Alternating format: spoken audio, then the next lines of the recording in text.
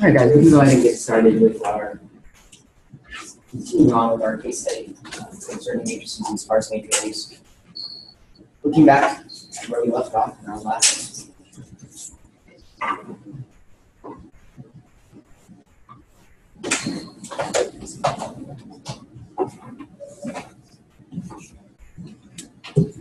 Maybe we won't be able to look back.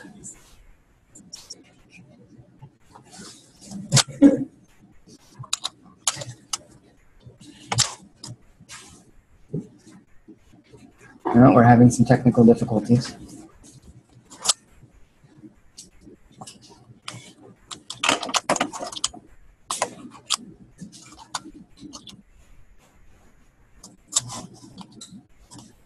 One moment, guys. All right. Okay. My screen hasn't frozen. That's the good news.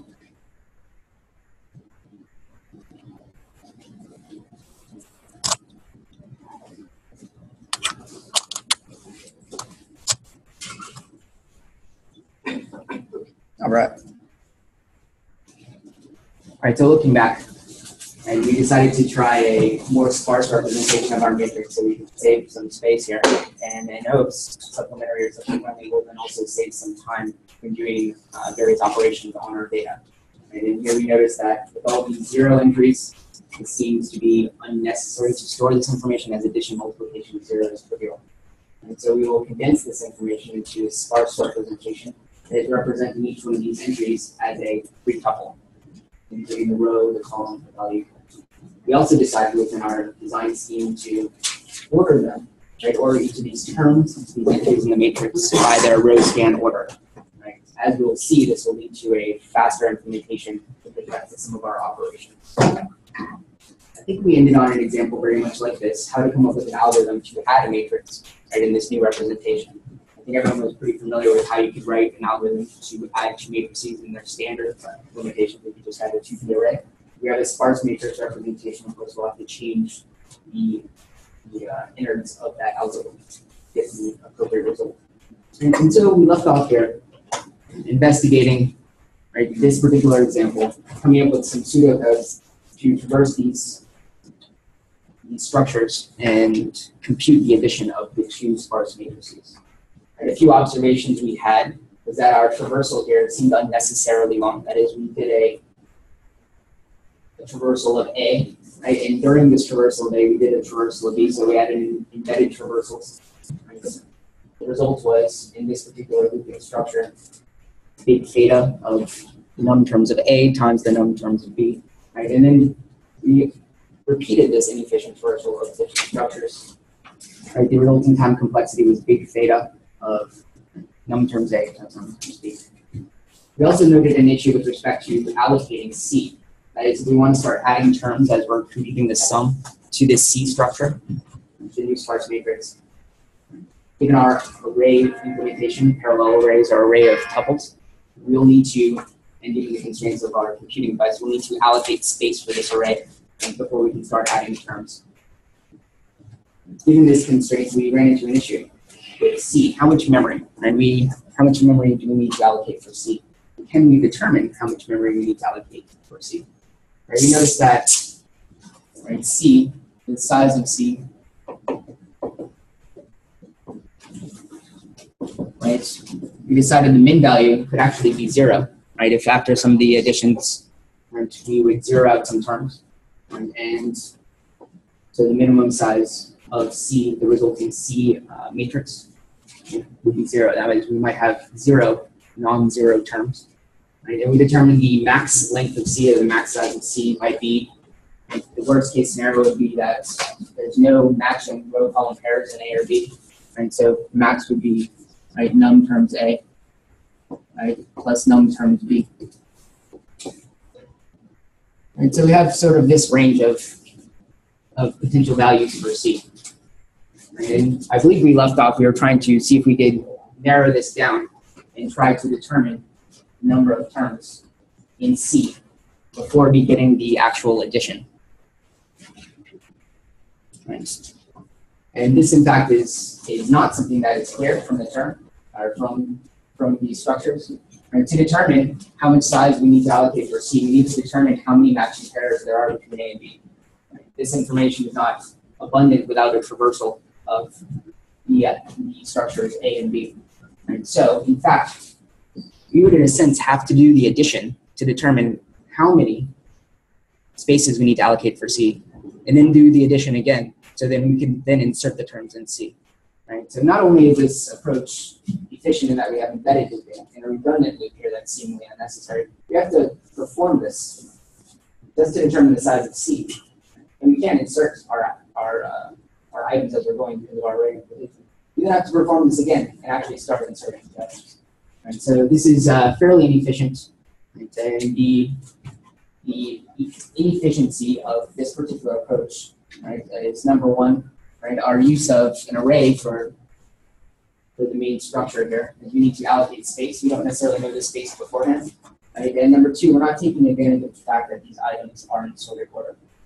And this is the main reason why we're going to keep these items in a row scan order, so we can improve upon this sorted scheme. If they're not in any order, right, we can't do all better than this. Any questions about that?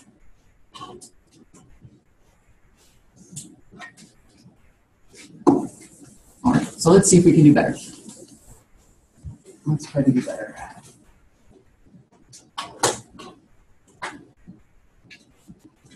All right, so let's try to take advantage of the fact that the entries in A and B are in a row scan order. Given this, right, how can we traverse A and B right, such that we don't have to, for every row in A or every entry in A, search over B?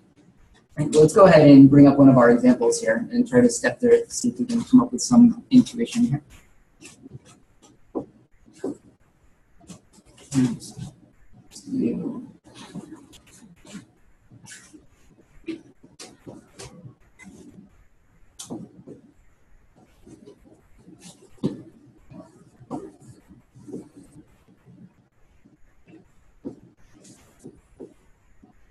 All right.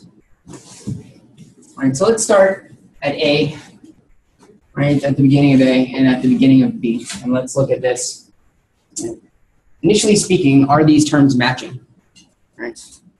No, no, they're not matching. In fact, there's only three possible outcomes. Right? Whenever we are pointing at a term in A and a term in B, right, the case is that the terms could have the same location and they could have the same row column pair. Right? The term A could come before in a row scan, or it could come after in a row scan. Right? Those are the three options. Right? Equal row scan, right? before in row scan, or after row scan. Three options. All right, so given this information here, starting here and here, what can we say about right, what can we say about our resulting sum? Right, let's look at this case by case. In this particular instance, this is A, right, and this is B. Right, this particular term in A is coming before this term in B, right, in a row scan. Right, they're both in row zero. This is column one, column five. And so this entry is earlier, right, in, uh, in the matrix. Again, assuming that they're the same size as we're performing matrix addition. All right, so in our case here, right, the current term in A is earlier in the matrix than the current term in B. So what does this mean since we've started? We just started here in this particular iteration, right, in this particular state. Well, this means that this term, right, a zero one term does not exist in, in B. Do you guys agree with that? Right? Otherwise, it would have been earlier. We would have encountered it initially. Right, so since there's no zero one term in B, right, what, what does this tell us about our resulting sum C? Yeah. It's just zero one. Right, you need to simply add this term, right, because the corresponding term in B is just a zero, right? It's not here, so that means it was a zero entry. Right, so trivially, you can just insert this term into the resulting sum, right, because we'll be adding, let's pretend that's a five. We'll be adding five to zero, and we'll get five. So the resulting sum will just be zero, one, five. Right, at this point, You've inspected this term and done the corresponding addition associated with it, so we can now increment this iterator. Go to the next term. So can you just say one more time what you meant about size? So although these don't have to be the same size, although A and B are the same size, right? Like even though these two arrays. Right, the, the number of rows and the number of columns that these sparse matrices represent have the same number of rows and columns. The number of entries, right, in the sparse matrix representation is not necessarily the same. We don't necessarily know the number of entries resulting in our C sparse matrix.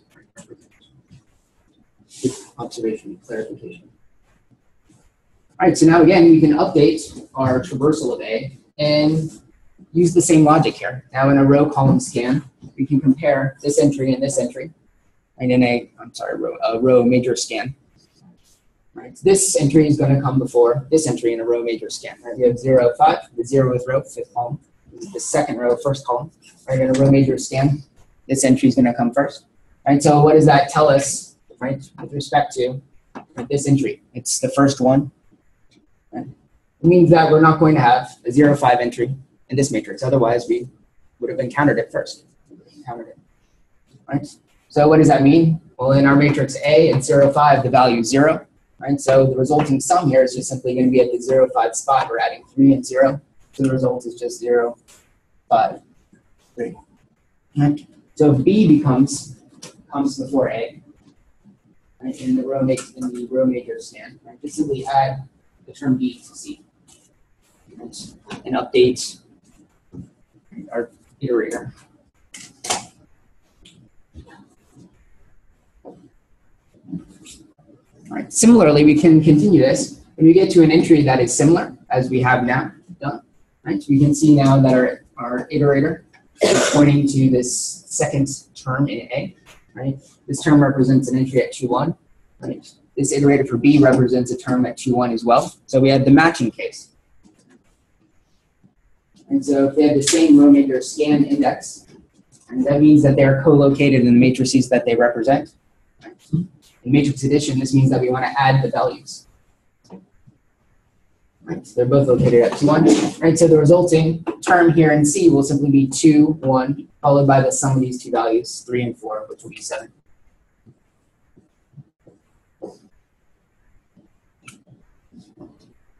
At this case, at this time, we can now increment both as we've accounted for both terms.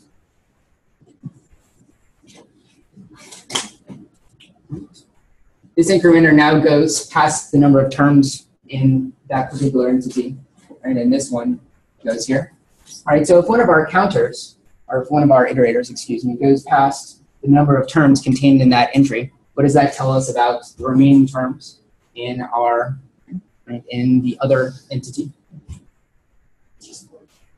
Right, so for this entry and all subsequent entries, right, we can just copy those terms over to A because we're doing the non-trivial zero additions for each of those terms. Right? And so all of any subsequent terms right, can just simply be copied over or inserted into our new structure. So here we can insert 4, 2, 5.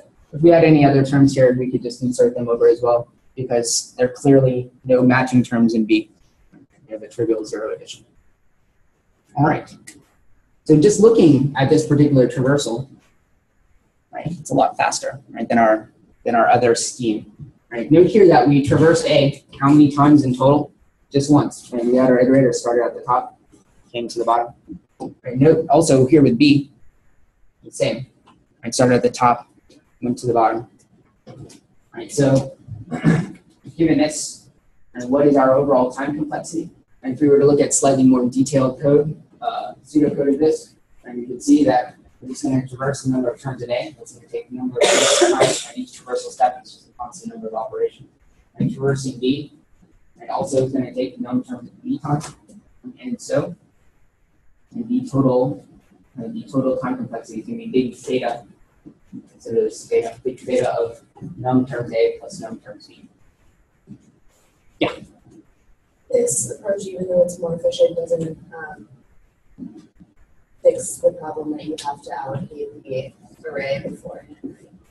Yeah, a very good observation. Again, although we have significantly reduced our time complexity here from num terms times num terms to num terms plus num terms, right? We still have the issue of well, how big is C going to be? How much space do we need to allocate for our sparse matrix representation of the resultant sum? Right? And again, since we have decided to implement this as an array, if we want to have the size to be efficient, if we want to allocate exactly the right amount, right, we will need to know that information. And in order to know that information, in this instance, we actually have to perform the sum first to see how many matching terms and non-matching terms each have. Very good observation. Uh, Eva? Yeah. Uh, uh, again? Do another question? Yeah. I know it's probably like apples and oranges, but in terms of whether or not you would want to iterate through twice to determine the correct size or allocate an array that's too large, which one would be more desirable in this case? All right, so let's say that we have. uh, so let's say that we have uh, A and B. We want to add C. And we decided that C, or the size of C, is going to be upper bounded by what the number of terms in A plus the number of terms in B.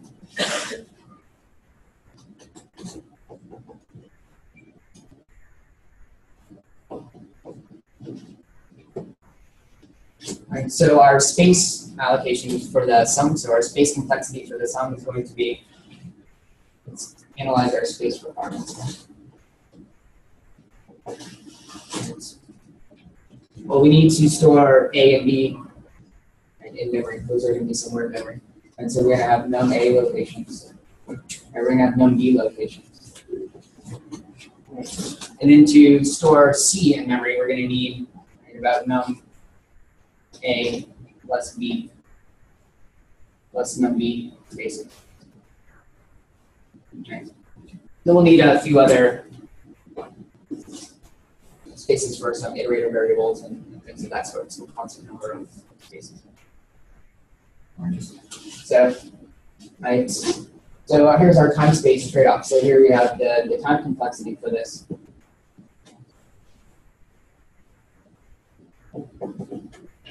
And we determined was uh, we're going to traverse A once and B once. Right, so computational steps.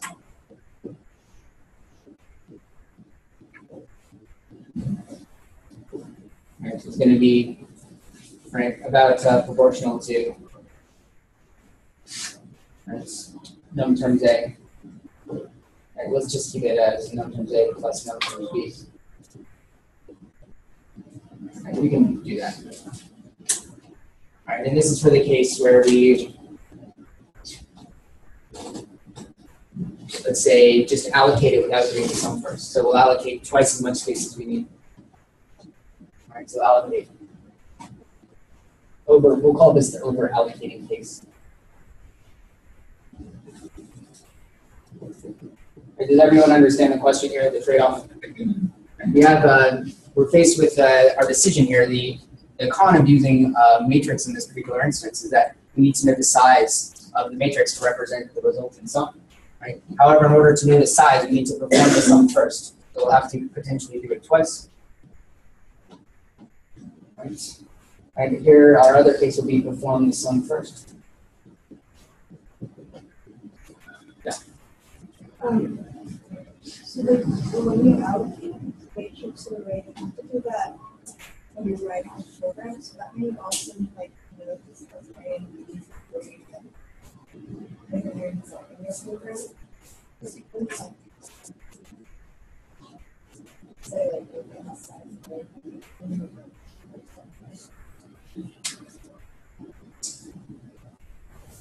So you're noting, for example, in C, if you want to allocate an array on the stack, right, it needs to be a constant size. It needs to be determined at compile time rather than runtime.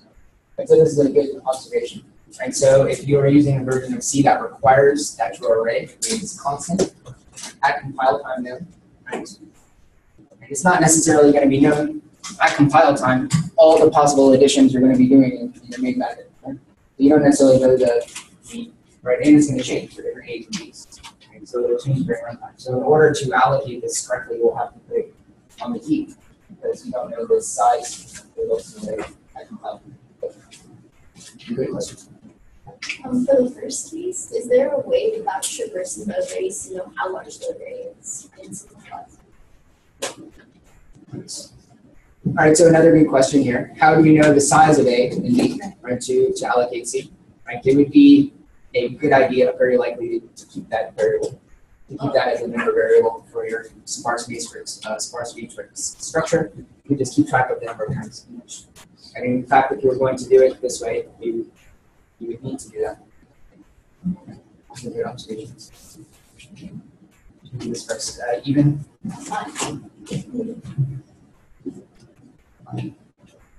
Um,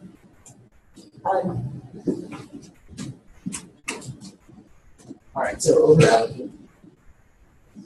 Okay, so if we just perform the sum first, right, then the space requirements are going to be reduced.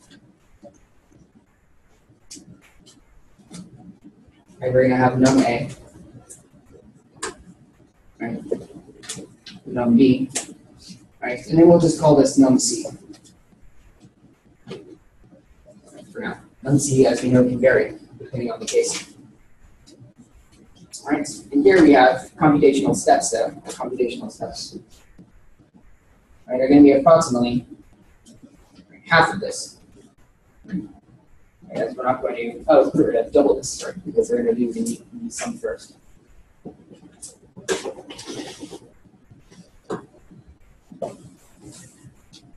So we're gonna do, there's gonna be about two C. That's num A. Sorry, my wrist has gotten a little disordered here. It's nothing. Does that make sense? And we're gonna have to do essentially these same operations twice to determine the size of C. And we're gonna have two C, num A plus num. All right, so if we're just looking at the, the time complexity here, this seems like a really good option. If we're looking at the space complexity here, well, the space complexity might, in the worst case, actually be the same. And so in the worst case, going to get the same, to get the same issue here, or the, the actual, the same space complexity, but half the number of computational steps. Generally speaking, if you have a trade-off between time and space, right, depending on your applications, right, you may err on the side of reducing your time complexity right, if there's a trade-off of this nature. Again, here in the worst case, the space complexity is going to be about the same. Right? For your projects, whenever you're faced with a, a trade-off like this, right, and it's a fairly even trade-off, right, I encourage you to err on the side of improving your time complexity over minimally reducing your space complexity. There is one concern about implementation here is right, if you keep doubling the size, right, or you keep increasing the size of a resulting sum unnecessarily, that extra unused memory might grow and grow and grow if you don't carefully manage that. Right? It'd be easy to manage that by just keeping track of the number of actual terms in C, right? Regardless of the actual size of C. The size of the matrix. You don't want to, like you have subsequent sums A plus B plus C plus D plus Z, you don't want to just keep doing the worst case and adding the size of the array, but actually adding the number of terms that, that the array is running. Because there may be more, the, the size of the array is going to be larger than the number of. And if you are adding the size of the array, you're going to propagate that extra unused space to the resulting uh, matrices, the resulting sums, and it'll grow very little. And if you can't bound it, then, then this trade-off may not work. Does that make sense? All right, so for example, any questions about the, the trade-off here? Right, this is good, this is a good investigation because very likely you're going to be faced with design decisions like this for following your project. My question more has to do with um keeping track of like subsequent positions, can see and on top and whatever. Um, with the way that you track how many values are actually the that be like a variable that you keep track of within the actualization. So that way you know how many terms are on just elevation. It would be an attribute of each sparse matrix representation. So for example, in A, you had a sparse matrix A. Let's go over here. Nice. And sparse matrix A was created, let's say, of the result of some number of additions. And after there's some number of additions, we have three terms. but let's say the size of the array is actually you know, six. Right? When you go to add A to something else, right, it may or may not be important to know the size of the array six, but you certainly will want to know the number of terms in here, which is three. Right? And so you'll want to keep that information with your structure A, so you can access it anytime you're accessing it. And so that would be, you would likely implement it as a member of A if you're implementing it as a structure or class. Does that answer your question? Yeah. Right, again, here, this extra, right, this extra three spaces that aren't being used, right, whenever you per- perform an addition and you want to estimate the upper bound, the size of num C, right, you do this sum to estimate the worst case upper bound, you don't want to use this value, right, because then this, this extra unused space to be propagated unnecessarily to the resulting sum. You to use this value. That was, think, what I was trying to get across. And what would be like the best way to keep that? Yeah, just keep it as a number. Or you should uh, keep track of the number of terms in A, keep track of the number of terms in B. When you create a new entity, update and keep track of the number of terms in that new entity.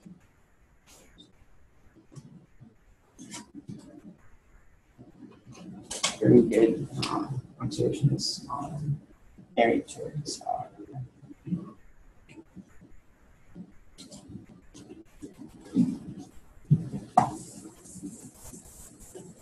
All right. So those are good questions and observations. Any any other questions? I'm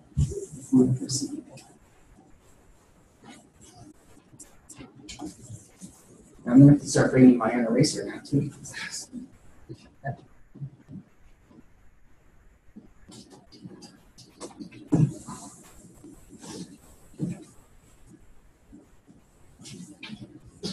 All right, so now that we've increased, improved our uh, time complexity here, let's look at a few more operations. It seems pretty intuitive that we're not going to be able to do much better than this.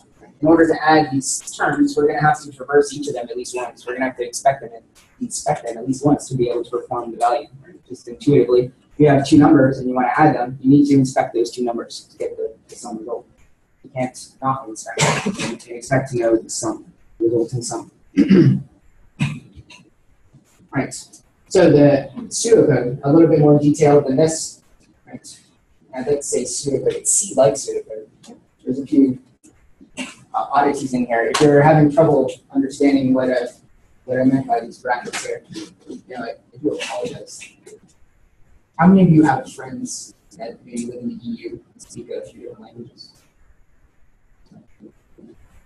Do they sometimes just bounce back and forth between languages when they're speaking? It, it is like Euro slang, you call it? I have a few friends like this. And you know, after learning a few languages, sometimes you know, I'll just start in one language and sort of transition to another thinking about it like pseudocode. And so this this will happen. You know, whenever I think of matrices, I go into MATLAB or Python code and start doing syntactic things. And I do apologize uh, it's confusing. But the idea here is just simply that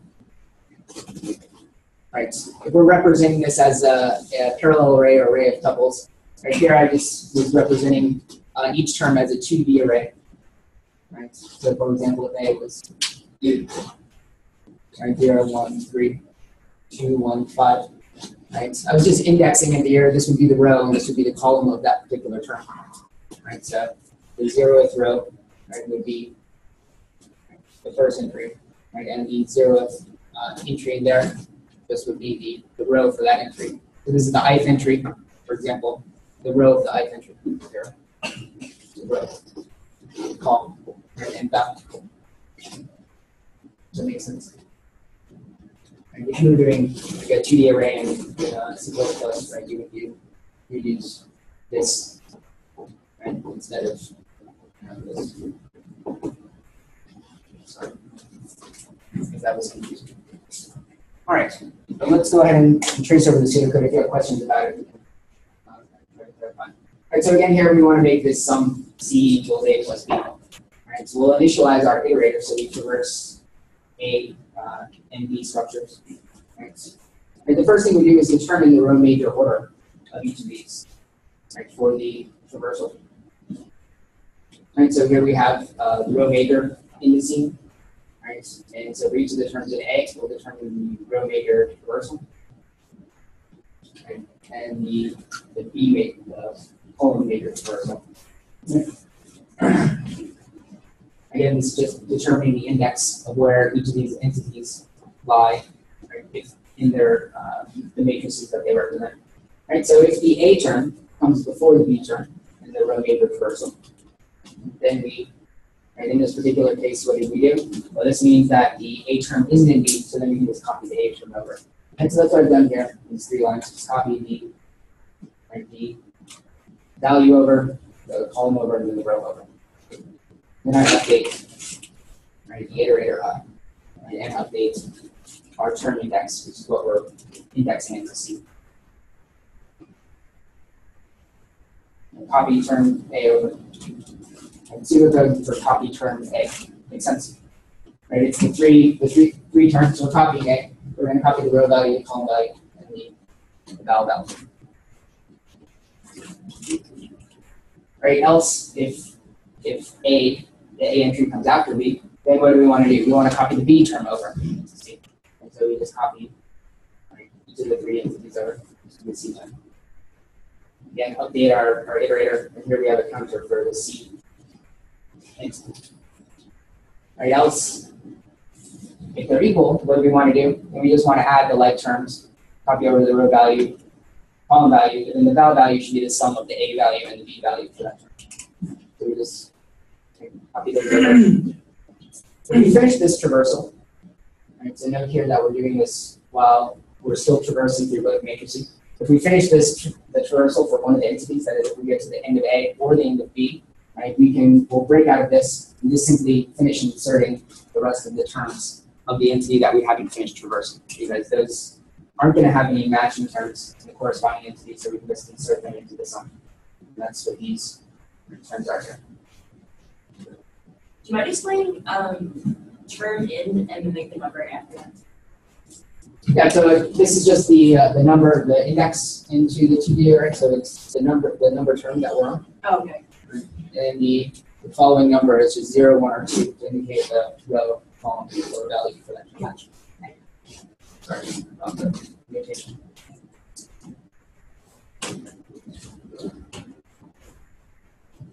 And any questions about that? Again, it's sort of explaining at a slightly lower level. Again, we have the concern about, well, if this is gonna be an array, how are we gonna decide, how are we gonna allocate it? These are important questions. You say the row major index thing it just, I don't really get those. Yeah, yeah, no worries. Check out the indices here. Alright, so in right, in the actual computer, if we have a 2D structure, we have to store it in memory, which is a linear structure, a linear structure. Right, if we have a 2D array with some number of rows here, right, let's say row one, row two, row three, and rows, columns. Right, this is going to be inserted in a row major program, and it's going to be inserted in rows uh, on a row-wise essentially. So row one will go in memory, right, and then row two, and then row three. And this is called a row major. Right. So if we have right, a particular index in here, let's say zero, one, two, Let's look at the actual matrix and not the sparse matrix representation. Right, so this is an actual matrix now, not the sparse matrix. Sparse version. Right, what is this going to look like in memory? Well, it's going to look like this: zero, zero, one, five. If we have a row major scheme, MATLAB, or I'm sorry, uh, C++ is row major, Python, column major.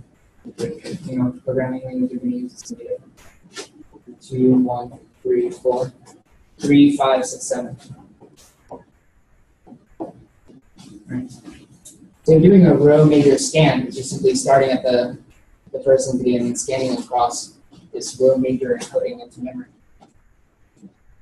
If you want to get to, if you want to know the row major scan or where three right, lies in memory as an offset to the beginning of your array, you can take the row value, right, and the column value, and compute it arithmetic, arithmetically. That is, if we know the, let's say the row is odd, and the column is j, we can do i times num columns plus j.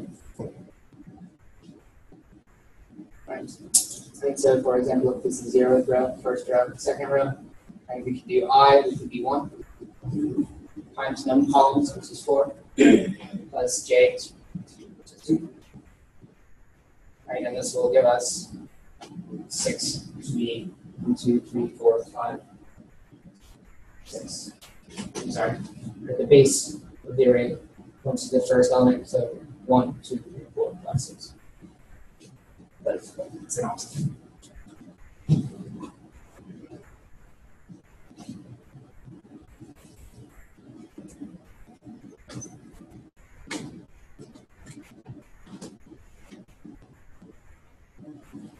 Alright, so we did it, right? We went from num terms, time num terms to num terms plus num terms, right? It's a huge reduction in time complexity. And so this is these are good things. And we'll take a two minute, three minute break and then we come back and do a uh, transpose. So we just did an example with our sparse matrix, how to perform addition with our with our new structure. Let's look at doing transpose with our new structure. Get out question. Yeah, I was wondering if it's been a while that's okay. And so this, uh, the, the major loop here is what we're going to be performing while we're still traversing both entities. We get to the end of one of the entities. Yeah. What we want to do is just simply insert all of the remaining entities. Right. And so, what we, we logically decided to break out of this loop and then just for any, you know, if i is still less than the number of terms today, that means we're still traversing it. Then you can insert those letters. Or if it was B that we hadn't finished traversing, then we'll finish traversing B. And Well, it's not gonna. Like, what's they both, what happens when they then, then you won't perform these. Like if we if they end at the same time, right, then you won't enter this loop this loop. And we're not resetting the iterator here, we're just continuing on with the traversing. We could uh, add some extra logic in here and here. Instead of doing this. The runtime will be the same, just the code's a little bit longer. Reviewing how into sparse.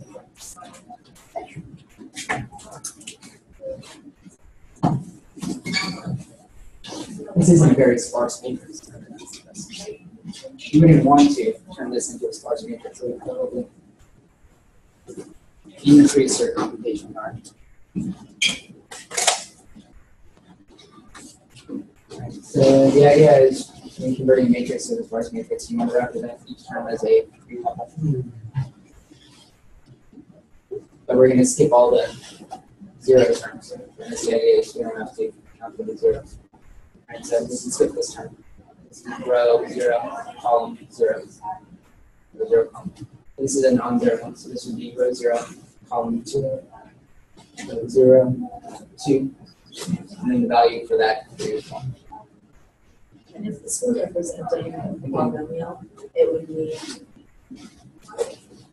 that you want to turn the basic number in matrix as a coefficient. If this were representing a polynomial, the number in the matrix is the coordination and the space is the um exponent. there are similar, there are parallels between them. I don't know that it's exactly a one-to-one mapping. We can, after we get through our examples, we'll talk about the polynomial project and identify the similarities. There's uh, some idea of sparseness with the polynomials. There's some idea of keeping track of values of coefficients um, and or exponents, depending on how you Yeah, there's certainly a lot of uh, a lot of similarities.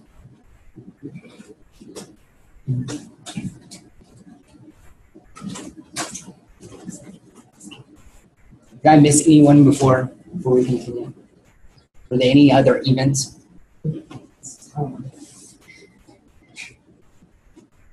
Different question, super actually. Okay. So why are you then, if you're just getting like the applicable number onto it, so are you giving like the actual value? Just for example, let's say you use the formula, let's say you're on here, you wanna get, you know, the, the, the the first row in this case, right? But Right, so this is the actual, this is the actual matrix representation, not the sparse matrix representation. So here we're assuming about the sparse matrix representation.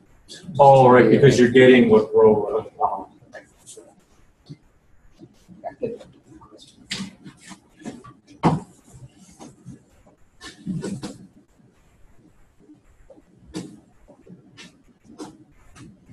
Now we decided to represent our sparse matrix with something that looks very much like a matrix. All right, guys, let's go ahead and and move along. We check out a few more design decisions and algorithms related to this structure. And so we've gone over addition, and we've come up with a pretty good algorithm. Linear with respect to the size of the input, that's always, always desirable, especially compared to quadratic. Let's look at, at transpose. Seemingly, the idea of doing a transpose, given our representation, is pretty, right, is pretty intuitive, right? We have our row, right, we have our column and our values. Right, so why not just switch the row and the column? It seems like an easy way to to do the transpose of this particular matrix, the member variable we have to switch to, if we're keeping track of the number of rows and the number of columns, we'd have to switch those two. But the problem with just doing that is given our ordering constraint for our sparse matrix, which allowed us to do addition really quickly, right? If we just do a simple blind swap here of the row and columns, right? We're no longer in a, a row major scan, right? They're not in a row major order. That is, right, this entry, which is in row five, column two, actually comes after this entry, which is row two, column three. And so our addition algorithm will no longer work. Our really fast addition algorithm is no longer going to work because they relied on the fact that they were in order. So if we do that linear scan, we're going to skip some terms, and or logic is just not going to be correct. Right, so so this is bad because the state of our, our structure is not maintained. So this is not a good example of doing a transpose in this particular, given this representation. Do we want to just simply then relax, right, this particular constraint? Well, that, that constraint allowed us to go from essentially quadratic time to linear time in our addition algorithm. That's a pretty big boost. So we have to have some a pretty uh, pretty big downside with respect to our transpose to decide to lessen that constraint and just simply go with the quadratic implementation of addition. We just swap them and then do like a sorting order. Yeah, so you could do that. So if we did a swap, so let's say we did a swap. Look at this, look at this. So I'll go like here. And so pseudocode swap, and for each entry, right, or for each term, I'll follow term. Right, swap row and column values.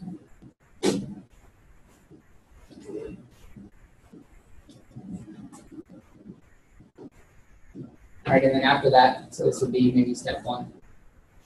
Step two would then be what? Sort the terms based on their their new row major scan.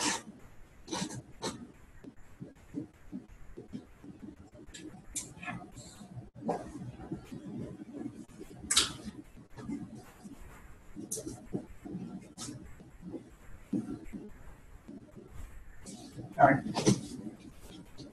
Alright, so it seems reasonable. What sort of time complexity are we gonna get with this piece of pseudocode?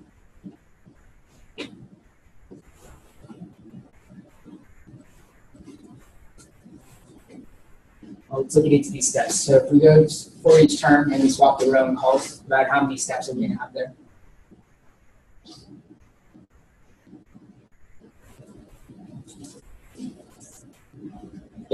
Terms of data. Yeah, the number of terms in it. We'll go ahead, go ahead and do that. Right, I'll just put a C in front, and some constant number, assuming that the swap takes a constant number, which seems reasonable. What's that? To that, and then sorting the, the number of entries in A, let's say, uh, based on their row skin. How fast can we do a sort, generally speaking? Very general case. Maybe uh, num A, log num terms A. Do like quick sort or merge sort. So you guys have been exposed to sorting algorithms, I'm pretty sure. Have you guys been exposed to, you've been exposed to bubble sort, insertion sort? How about merge sort? Quick sort? Well, we're going to investigate some of these later when we do sorting. So we can do a sort in a little bit faster. Bubble sort, and insertion sort, or quadratic. Going to be the n squared complexity. And again, we'll investigate this when we look at sorting algorithms. Here, we'll note that we can do this particular sort in, we'll say, num terms times log of num terms. Okay. Right, again, a constant times this. And so the big theta of this altogether will be right, c, right, this num right, plus c num terms a. We have two terms here. This term dominates this term, so we can leave it out of the upper bounding scheme, and it's just c, this big theta num terms a log num terms a.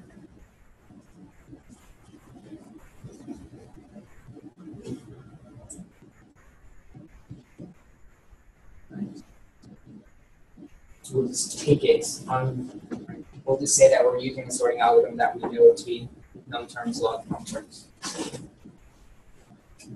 Alright, it's not so bad. Num terms log num terms. Right, log is uh, the inverse of the exponential function. Log is logarithmic, assuming it's base two. So even if num terms of a is very large, right, this term is going to be fairly small. And so it's not as fast as linear, it's not as slow as quadratic. Right? So it's not bad. Not a bad approach. Does that make sense to everyone, the approach? Right? We want to keep it in a valid order. Right? So you can't just simply do a, a blind swap of each of these values because our terms will no longer be in order of row scan or row meter scan. Uh, but we can fix that by just performing the subsequent sort, uh, subsequent sorting.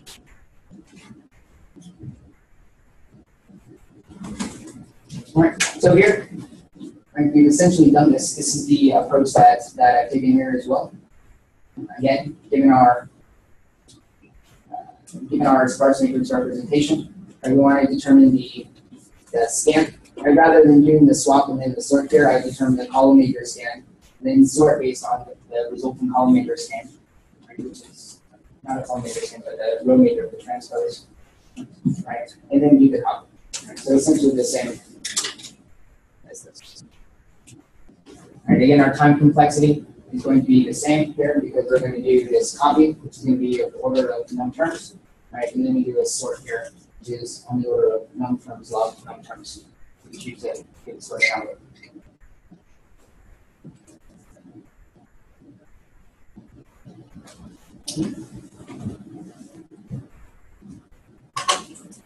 You guys, Mary Joy, your email. Um, and evens, you're gonna have to step it up. Get into the game here.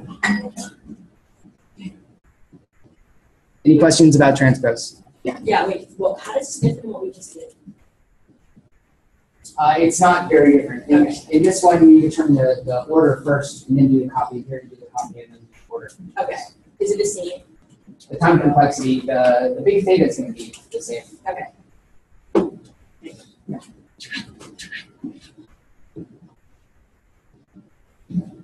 All right, again, I encourage you to try one of these at home. Feel free to try multiplication or, or any other matrix operation you wish.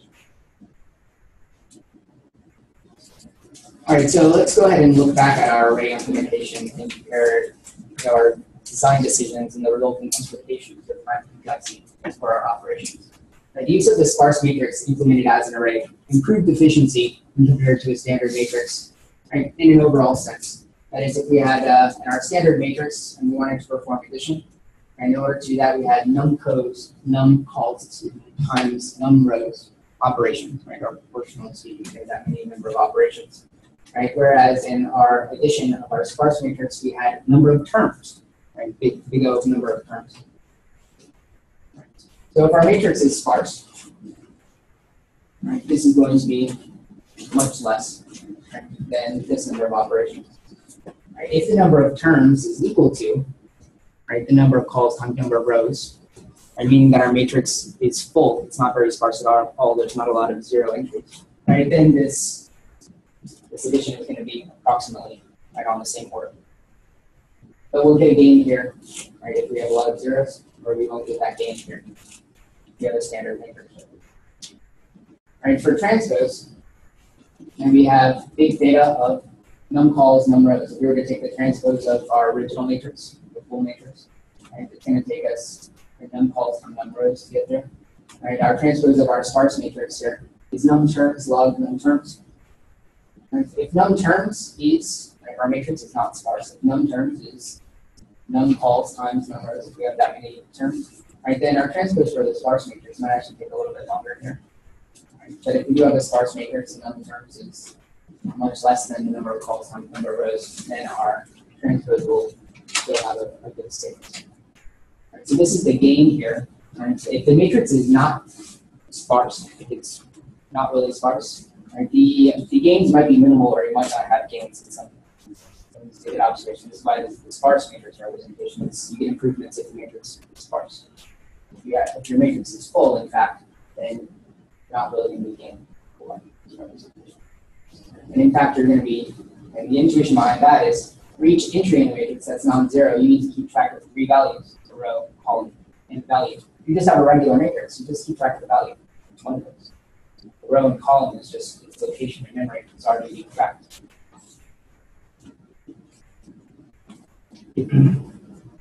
All right, so this array implementation was fairly intuitive as we had a list structure. We needed to keep track of a list of tuples, right, a list of three tuples.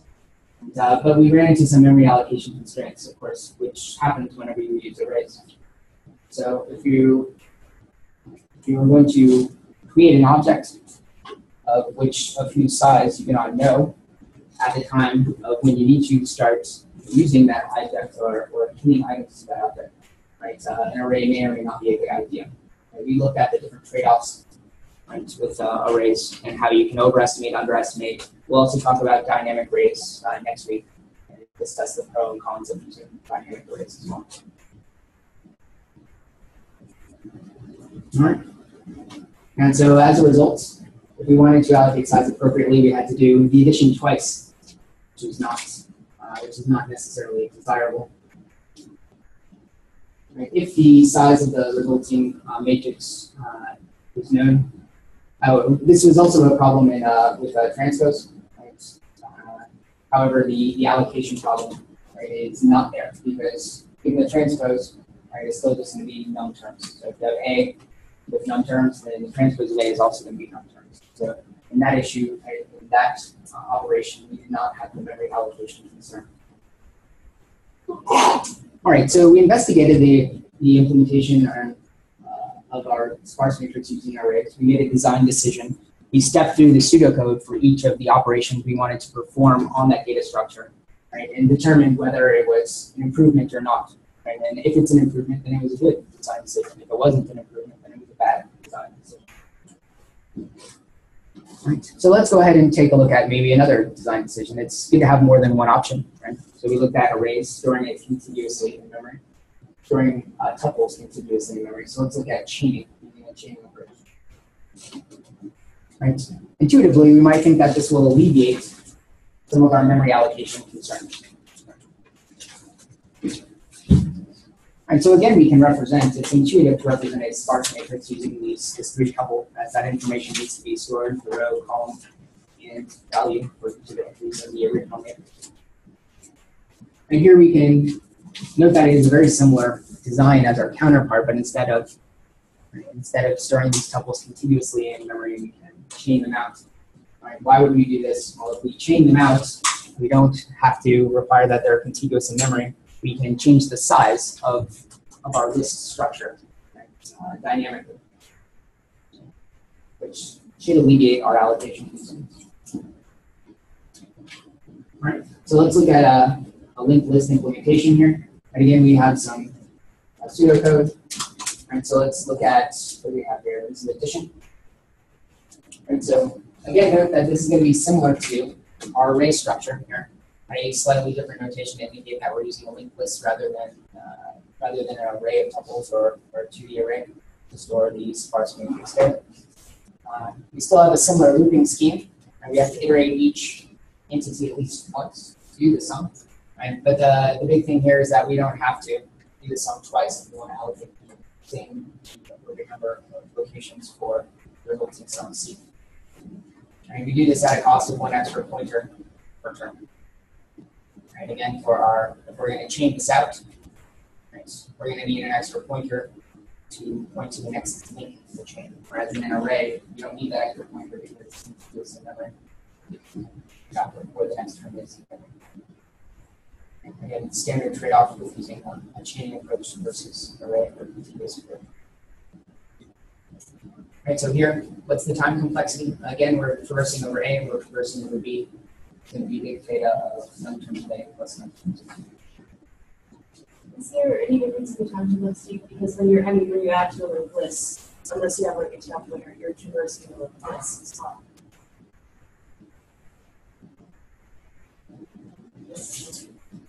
Ah, right, right. So you're just, you're noting that if you want to add to the end of the list, right, that you will want to keep track of the tail, you want to have a tail to the back of the list. Because otherwise you would, yeah, there would be added. Yeah, you certainly want to keep track of it. Yes, good notes. Yes, A linked list, can you just add like the terms that you need to into one of the?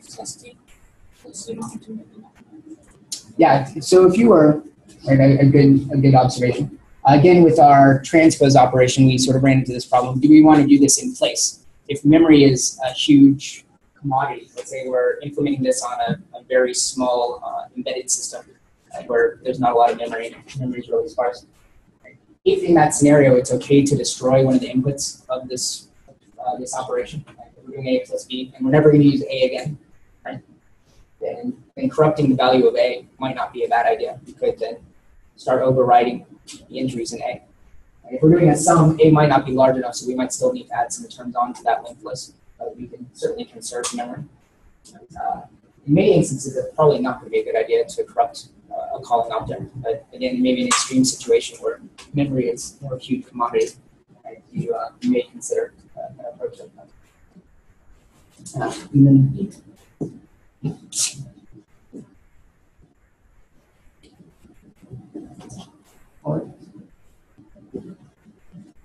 Alright, let's move on. Alright, so let's take a look at the transpose for the linked list. Uh, we have the, the same concern here. We can't just traverse the terms. The algorithm, again, is going to look fairly similar for these. And we're going to have to, and we can't just simply go through the terms and swap the row and the column because we won't have a valid state. So what are we going to have to do? Right, we're going to have to do, or one way to alleviate this is to do the swap and then sort. Right? Or we can do the, the sort and then swap. And again, we're going to have uh, some chunk of code that's going to be big theta of the size of A, big theta in terms of A, right? And then the sort's going to take, we'll assume big theta of num terms of A log num terms of A. So it seems like these are like pretty identical between the linked list and the right. Yeah, the the time complexity. Oh, let's so let's compare them side by side. Maybe we have a discussion. Okay. All right, so we compared the linked list.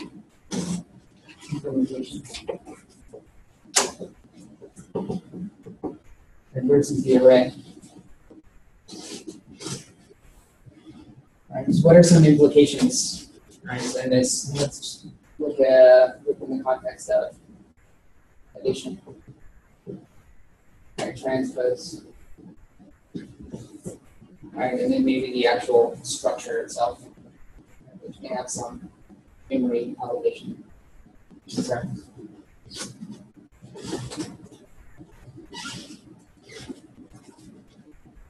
Alright, so for addition, what were some of the pros of the linked list? What were some of the pros of using the array?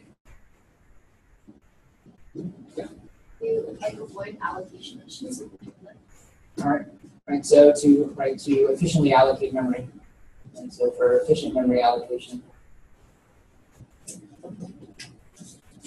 Right, we do not need to necessarily perform addition twice. Right, so reallocation is efficient. Right, and the traversal is efficient. Right? So both are efficient, time relatively efficient as.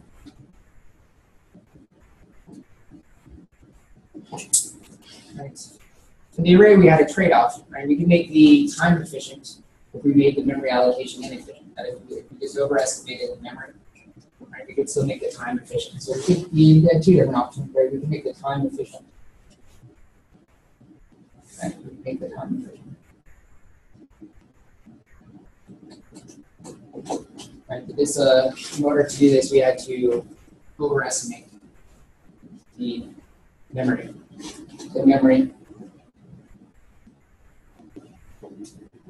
may not be efficient in this case. Right, or we could have a time complexity that was on the same big theta on the same order as it was in the other case, but it was twice as long, so we could make the time twice as uh, twice the steps. We double the runtime in a sense, right? And we could get efficient memory allocation.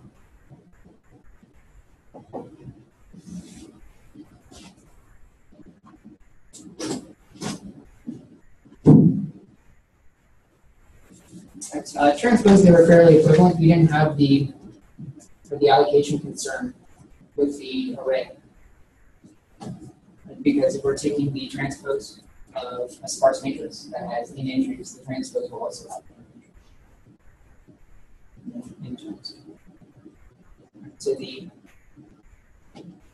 the memory and the the time complexity for each of these are relatively the same. And so here, maybe you could say it's about a push And you can dig a little bit deeper and, and look at the actual implementation and see if you can shave off a few steps here or there, right? But on the order proportionally, it's going to be about the same. And with respect to the structure itself, and well, we had this trade-off here with the arrays. For the linked list, we need to keep and one extra pointer per term. And in order to maintain our our list and our chain. And if we have in terms, then this is in extra locations.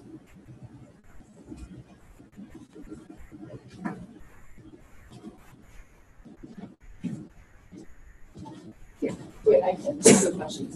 So when you say, um, keep one extra pointer per term, how do, you- why do you need that? Why don't you just keep it tail? Uh, for each entry, for each tuple in the uh, linked list, and for each node in a linked list, you have the value that it's storing, and to the. Oh, okay, that's. So it's fairly minimal as it's constant, and the memory requirements for a pointer is fairly, fairly small. Right, but you're gonna need, you know, however many number, so that. So it's a minor quantity. And then my second question is, can you just go over time twice the steps here, right? It was on the same order. It is on the same order, but it's, it's also twice the number of steps. If we want to allocate right, the resulting sum, right, we don't necessarily know how many terms there are. We can't grow that structure dynamically. And so we will need to do the sum to determine how many terms we have. Just as a counter without actually keeping track of the result, the resulting sum. And then you'll have to do the sum again. Right, to then, once you can allocate within add terms, so so it'll be about twice. And the reason it's on the same order is because it's used. It's on the same order, but it's gonna be twice. If we were to choose to an array, then you would have to decide whether to use a sparse or a regular matrix. Yeah, so that's, that's another design decision. So here, we're just assuming that we're designing a sparse matrix, right, construct. Determining or deciding when you want to use a regular matrix or, or sparse matrix construct, right, would be, be up to a designer. And one way to determine when that is the case, right, is to look at the time complexity. So looking at this time complexity, these time complexities, right, when would it be efficient to use a sparse matrix instead of a regular matrix, or when would it actually be beneficial to use the regular matrix when it comes to as sparse matrix? And so that when num terms is equal to num cols times num rows, this, these are about the same. Makes but num terms, if num terms is equal to num cols times num rows, then then this term is actually larger than this term. And maybe it's not going to be a good idea to use this cross matrix representation. So you can solve for num terms in terms of calls and rows, right? To determine when that trade-off will be the same, at least proportionally the same. And then that would be a reasonable decision of when to use this sparse matrix versus a regular matrix construct, given our design decisions. For the, if you do the, uh, the linked list and you're linking all the classes, you have to create an extra class like a tuple class, and then link together with data type you use to pull our data. Yeah, it seems that would be a reasonable way to design it, some sort of class or construct, something like that. It seems like when you're, this is kind of minute, but when you're transposing, you have a sparse matrix, the data is right next to each other. Um, like, like theoretically. Um, but when you're using like a regular, like, array structure, they could be far, or like we're using a normal matrix structure, they could be kind of far apart because they're in separate places. Right. So that is a very, very good observation. So this is goes, I think you're pointing out the practical implementation of the computer and learning about cache delays. Right, right, yeah. Right, and so if you have your sparse matrix representation. Right. This will be stored. uh,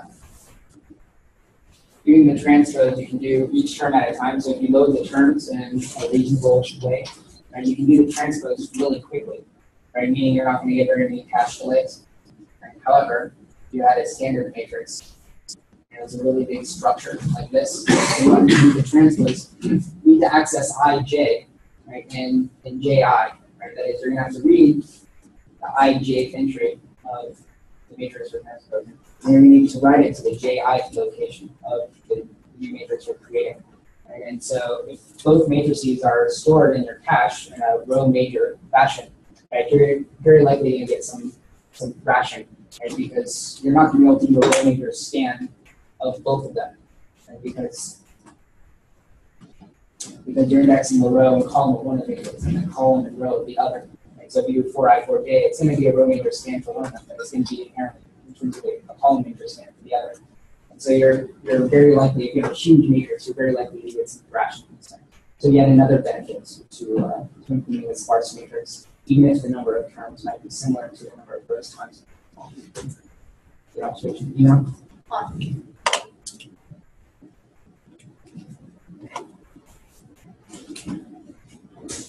All right. Let's go ahead and relate this to the project uh, real quick here. And so, uh, as you may have noticed, there's a lot of similarities between between some of the design decisions we've encountered here when designing a sparse matrix and some design decisions you're going to encounter when designing a polynomial.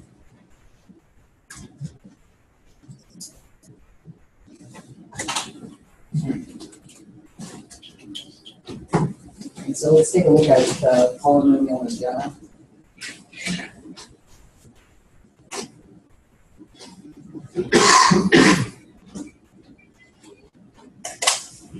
And so a polynomial is a, a sequence of terms, right, where we have some coefficient, say n, times a variable to the n power. It's a sum of a bunch of these terms, each of them we use a polynomial expansion uh, notation, right? Uh, Organization will write them up as a sum of terms, and so then here we'll have the n minus first coefficient times f, the n minus one Right, but not all the way down to point C to be zero index, index to be zero. So you can write this out in a more condensed fashion. Right, Their coefficient divide times x. Yeah. Alright, so as we identified in our matrix, we had we have number of rows and number of columns. We have number of rows times number of columns, pieces of information or data we need to keep track of. However, we noted that if we have zero element entry, we don't necessarily need to keep track of it as it's not necessarily important for multiplication. Uh, so the, the zero entry, we were able to leave off to make our structure a little bit more efficient. Alright, so in our polynomial here, what are some, what's the essential data we need to keep track of?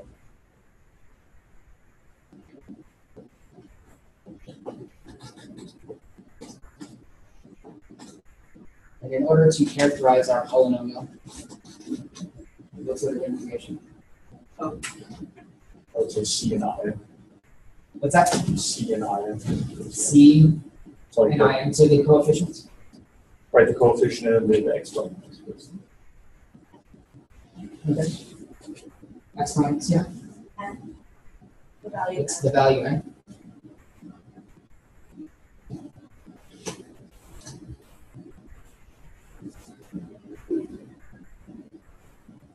Anything else we need to of? And so there's some design decisions that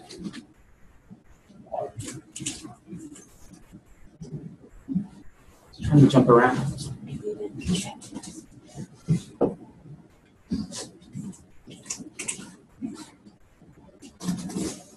Alright, so there's a number of ways to keep track of this, right? Our coefficients.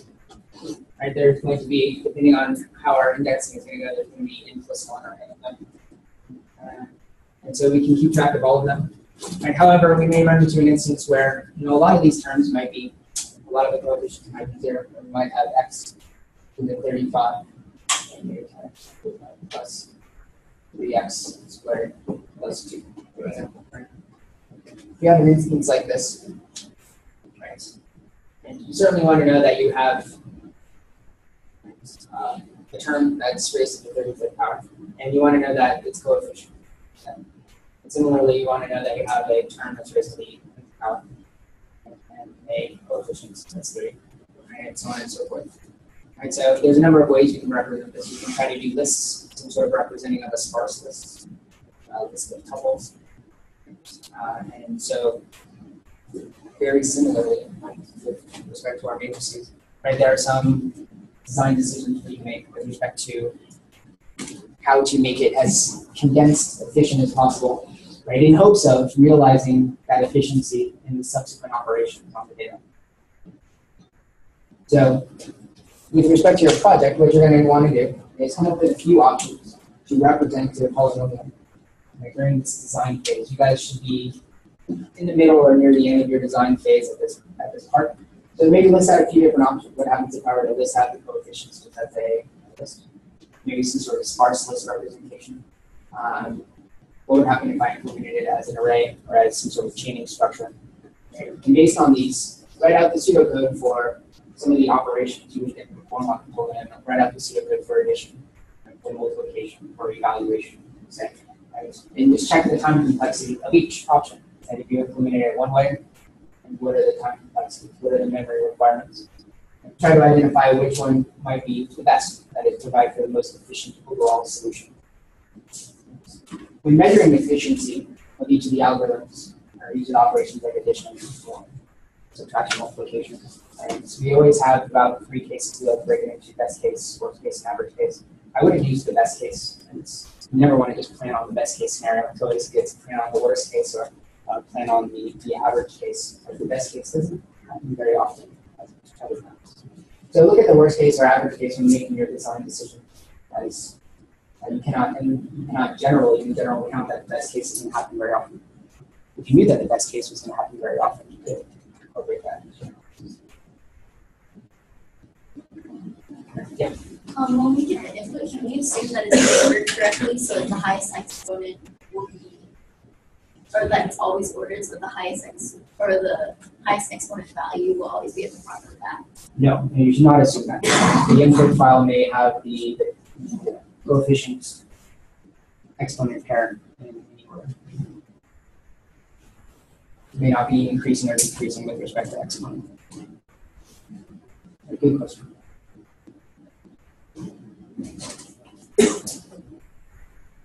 Any other, any other questions? Again, I encourage you to spend a good amount of time on the design process, right? Right now, you had about a week or so to sort of mull it over. We've gone through a case study where we encountered a number of design uh, decisions and the resulting implications of those decisions. So you should have some intuition as to what sort of pro and con trade-offs you might gain right, when making similar design decisions with your polynomial. So I encourage you to sort of just step through the process in some scratch paper, draw out, sketch out the designs, draw out, sketch out some of the pseudocode for the operations, and keep track of the time complexity, space complexity of each, and base your decisions on that. All right, guys, we are out of time. We're done.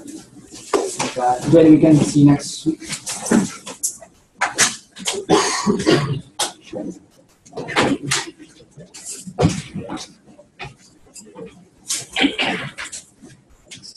Do you have any office